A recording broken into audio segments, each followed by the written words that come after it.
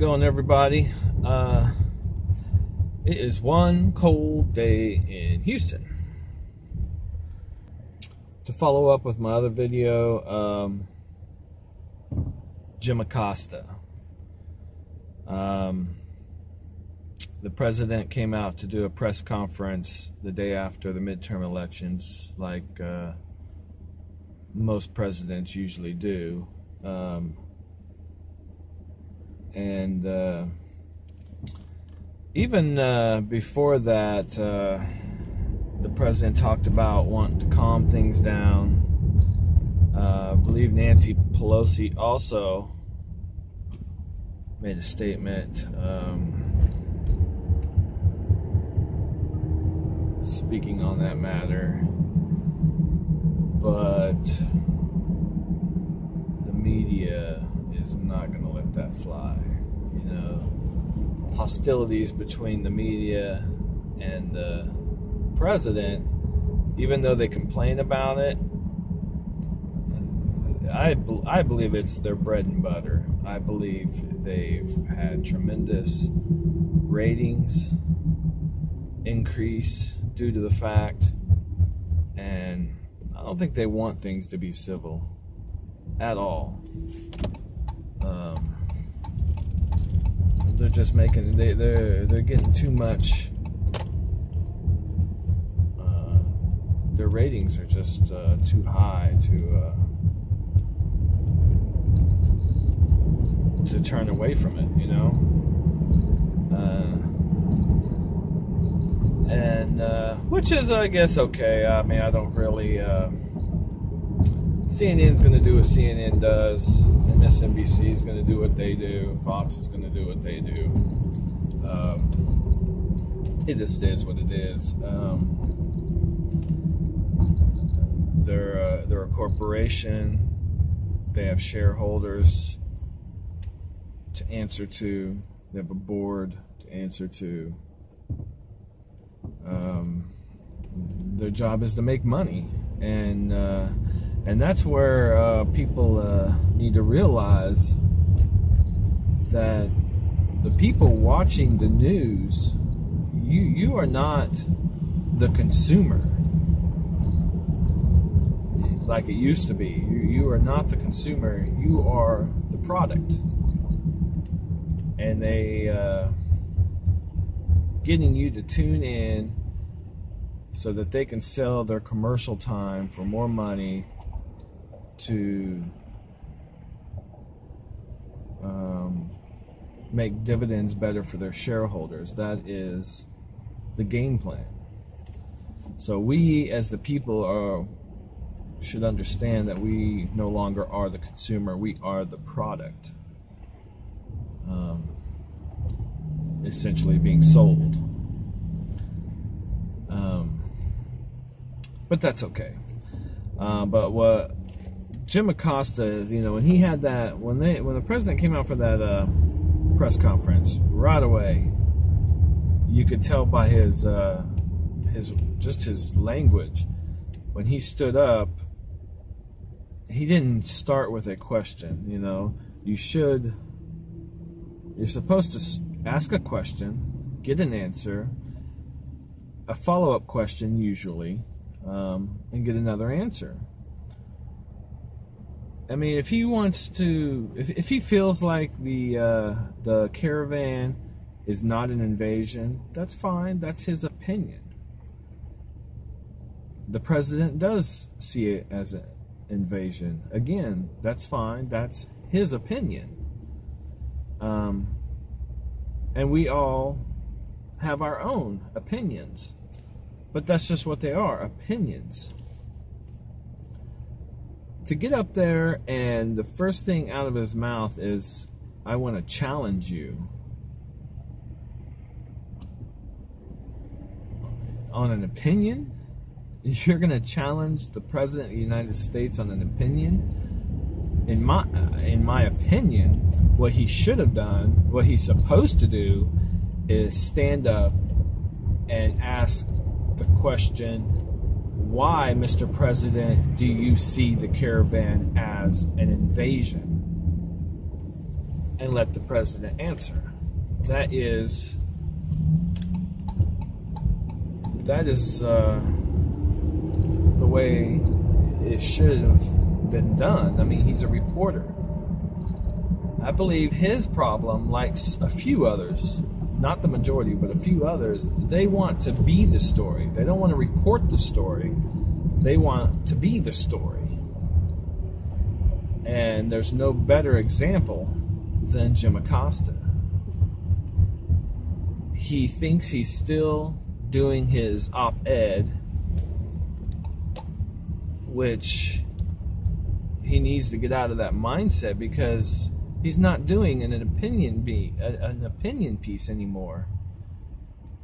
He's the White House correspondent, the chief White House correspondent for CNN. He's not doing an, an opinion editorial for CNN, but that's the way he treats it. Nobody cares what you think. Nobody cares what any of them up there think. If we cared what Jim Acosta thought, he would have an opinion show like Sean Hannity or Tucker Carlson. You know, those are opinion shows. Those are. It's not like Bret Baier where it's the news, the nightly news, or Lester Holt, where it's the nightly news. No. But he proceeded to get up there and speak his opinion and challenge the president on his opinion, telling him his opinion was wrong. It's an opinion, for, for one. It's just an opinion. His opinion can't be any more wrong than Jim Acosta's opinion, or my opinion, or your opinion. And they know this. But like I said, Jim Acosta wants to be the story. He doesn't want to report the story, he wants to be the story. Which is unfortunate, I believe, because this is why they get the term the name uh, fake news because it's not news for one. When they do stuff like that, it's not news, it's opinion. But to go on and continue the way he did was, first of all, rude to the president. It was rude to the White House correspondent organization, and it was rude to his fellow journalists, in my opinion.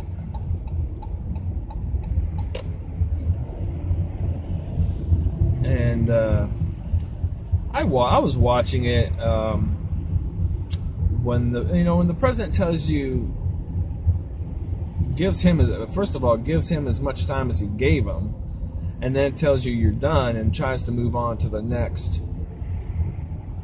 reporter. You shut your mouth and you sit down. But again, Jim Acosta wants it to be about him, so he keeps pushing. And then when that young lady, who you could see was, I feel bad that she got wrapped up in it, but I mean, she's just trying to do her job. Her job is to take the mic and give it to the next person. Take the mic and give it to the next person. And she reached for it twice because the president told him he was done. And then the third time she went for it, she actually got a hold of it. And he did some little judo chop on her elbow or her, you know, in, inside of her arm, which was, in my opinion, um, what he did was not really that bad or would not have been that bad. But the fact that it all happened so fast, maybe there was just a little bit too much uh, force applied.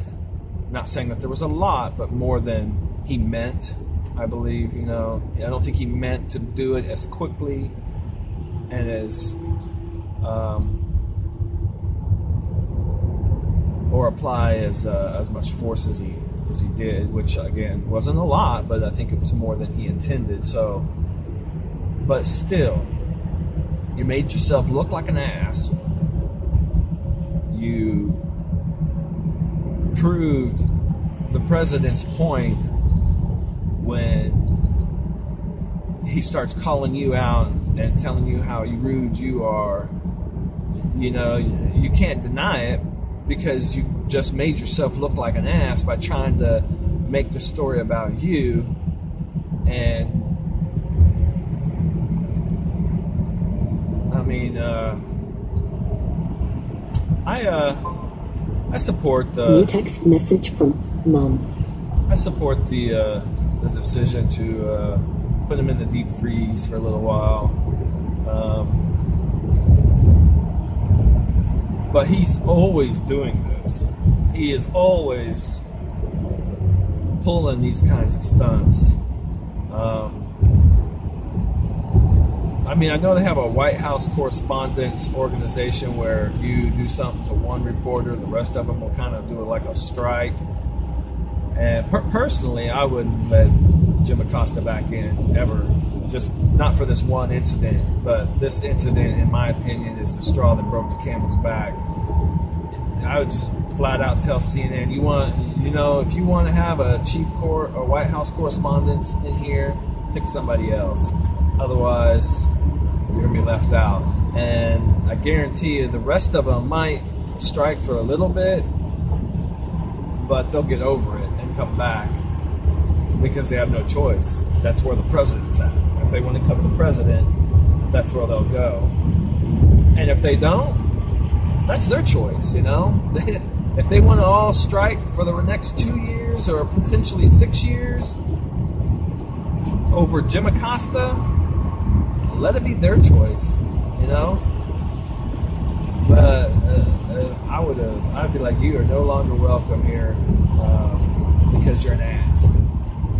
Not because I, uh, not because I think this, this, this. Just because you're an ass and you continue to prove that you're an ass. So I would. Uh,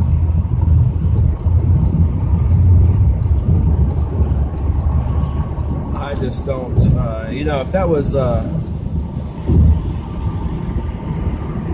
I know people say this a lot, but if it was on the other side, you know the left would have freaked out if Trump would have done that to a liberal person or woman. Because uh, you saw it with uh, during the Kavanaugh hearings. Um, Senator Hatchett from uh, Ohio, no, not Utah. You know, they were. Uh, he was confronted by some protesters, and they were uh, screaming something about Kavanaugh, and that could be. Uh, I don't remember exactly what they were saying, but he said, um, "I don't have to listen. Uh, I think I don't have to listen to you, or something to that effect." But he said, "When you grow up." Then I can then I'll listen to you. And you heard all the women screaming at him like, "How dare you? How dare you speak to a woman like that?" So if what Senator Hatchett said was so bad, how is this not so bad? He actually put his hands on a woman who was just trying to do her job She's just a, a 20 year old intern or however old. And for him to act that way, you don't hear anybody, they're all defending him. He was on Anderson Cooper 360 saying, I, I, I don't, it's unfortunate the White House would say this because I obviously did not touch the woman the way they are saying you shouldn't have touched her at all. You should have just gave up the mic after you did your little grandstanding and set your butt back down. Because if that was me, I'd have got I'd have got all into you. I would have called you out right then and there. And probably wouldn't have had you removed right then and there because you don't want to make the guy up the martyr. But because you know, if he had pushed it too far, that's what they'd have done. They would have made Jim Acosta look like a martyr, and President Trump's just this big bad guy.